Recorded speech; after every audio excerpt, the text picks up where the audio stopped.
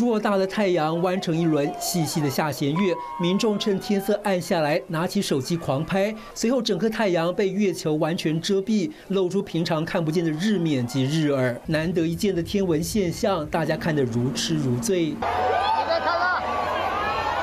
当月球阴影准备脱离太阳，这时可以看到太阳边缘一小角发出强烈的光芒，仿佛钻石戒指一样耀眼。在这当下，有男士已经被妥戒指，趁机向同行的女伴求婚。I love you. You marry me?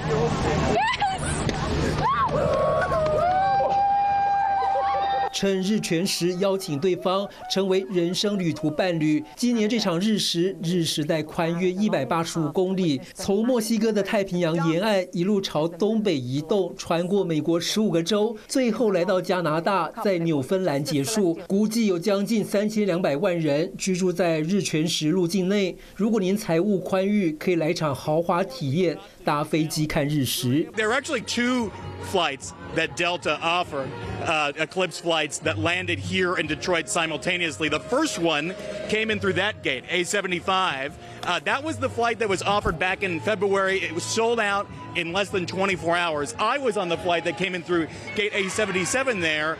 That was offered after that flight sold out. 美国华府也在日时代当中，虽然并非晴空万里，不时有云冒出来遮蔽视线，但民众仍然乐在其中，在草地上或坐或卧观赏这场自然大秀。另外，在驰名的尼加拉大瀑布看日食的人潮，穿起太阳装，打破近视纪录。下一次北美日全食要等到二零四四年才能再看到，说是一生一次或一生两次的难得体验，一点儿也不夸张。